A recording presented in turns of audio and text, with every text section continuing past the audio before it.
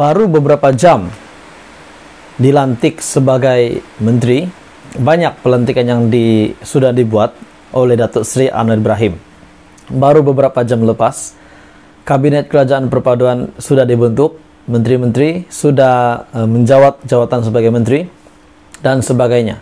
Baru beberapa jam sudah timbul satu berita yang mengejutkan Datuk Sri Anwar Ibrahim.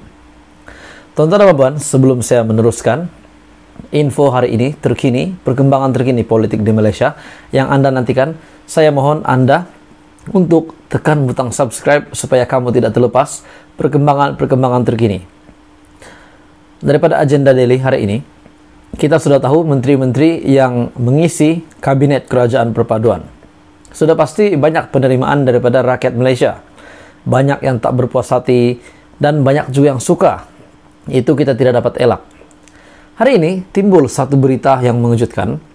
Selepas kabinet, selepas menteri-menteri di dalam kabinet kerajaan perpaduan diumumkan oleh Datuk Seri Anwar Ibrahim.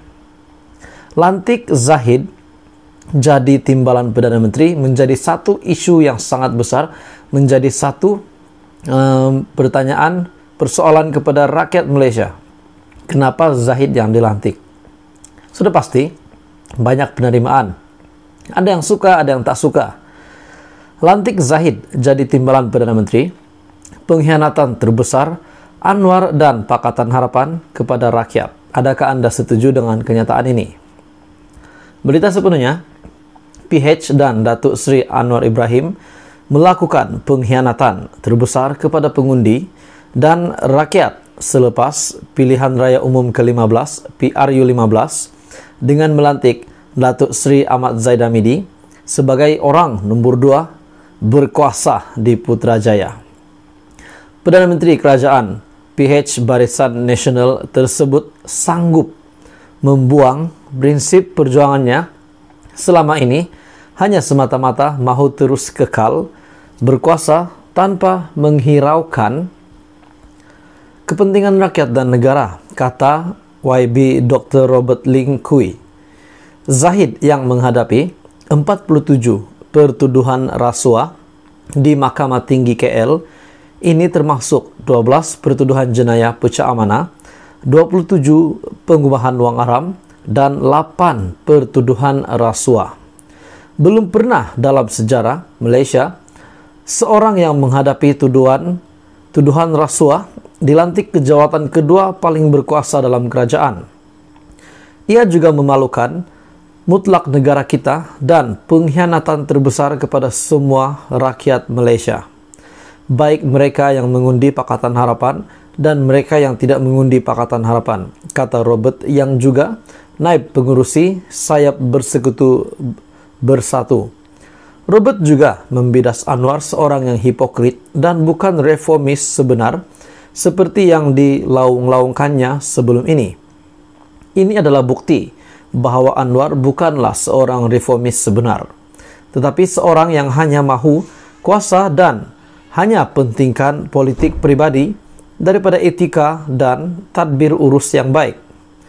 Keputusan untuk melantik ahli politik yang menghadapi banyak pertuduhan sebagai timbalan Perdana Menteri pertama, satu adalah bertentangan dengan prinsip tadbir urus yang baik. Malah, ia akan memberi kesan yang buruk kepada pelabur dan kedudukan keuangan Malaysia yang akan memudaratkan. Isyarat yang dihantar di peringkat antarabangsa ialah Malaysia bertolak ansur dengan rasuah, katanya lagi.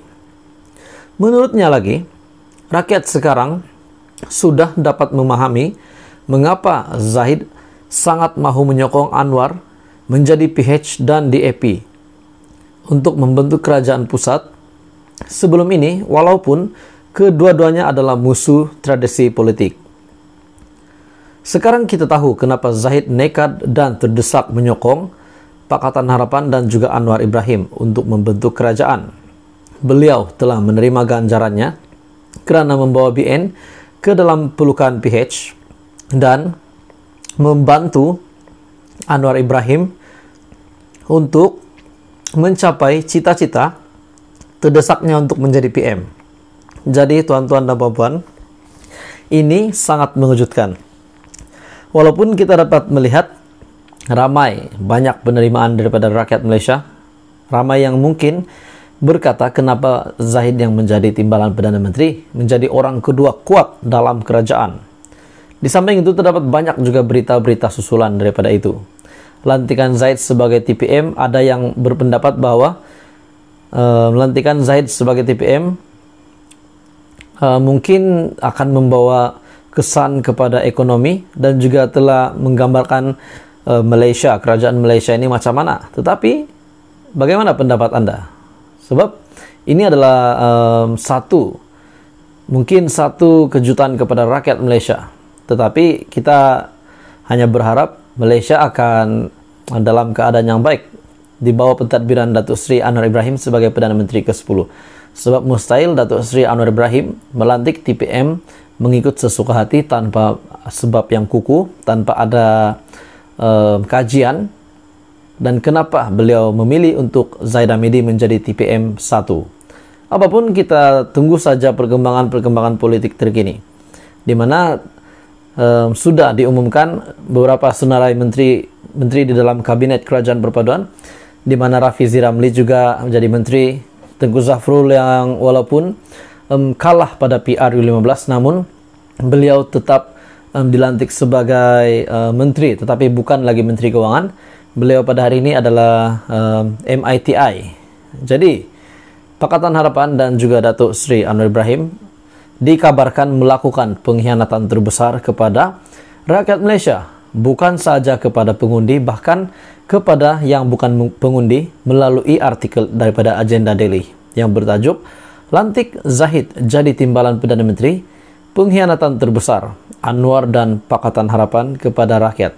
Jadi tuan-tuan dan puan yang di rumah dan di mana saja pun Anda berada, apa komen Anda dengan tajuk berita hari ini yang diterbitkan di Agenda Daily?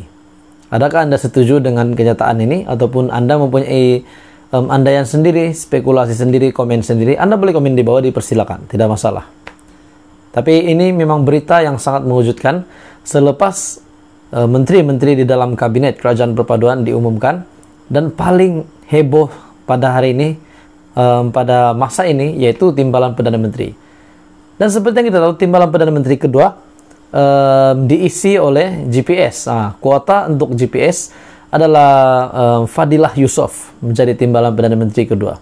Apa pun sebelum uh, saya mengakhiri, saya ingin mengucapkan ribuan tahniah kepada semua yang sudah menjadi menteri-menteri di dalam Kabinet Kerajaan Perpaduan Datuk Sri Anwar Ibrahim. Ibrahim dan kita menantikan uh, berita-berita uh, susulan selepas ini perkembangan-perkembangan terkini politik di Malaysia dan ini pasti mengejutkan seluruh rakyat Malaysia terutamanya pemimpin-pemimpin besar politik di Malaysia dan juga kepada Ketua Pembangkang Perikatan Nasional Muhyiddin Yassin kepada PAS juga Abdul Hadi dan seluruh rakyat Malaysia dan kepimpinan-kepimpinan politik di Malaysia. Jadi apa komen berita Anda hari, berita hari ini? Anda boleh komen di bawah. Dan jangan lupa subscribe channel ini untuk perkembangan seterusnya politik di Malaysia.